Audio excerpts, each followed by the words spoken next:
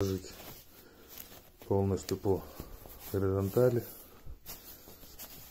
убрав эти съемные дуги, которые крепятся через карабинчики снизу. То есть можно использовать так, пока маленький, пока ползает. Чуть постарше станет, можно убрать дуги и просто как игровую площадку использовать. В комплекте шли 4 подвесные игрушки. Вот такая с колокольчиком. Пищалочка с колокольчиком.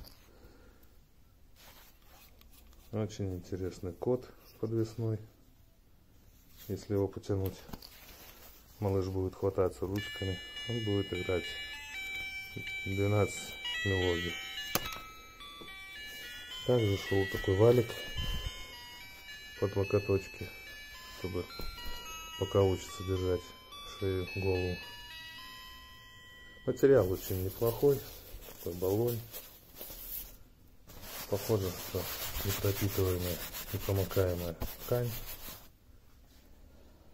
Также очень полезно в комплекте шло 30 шариков.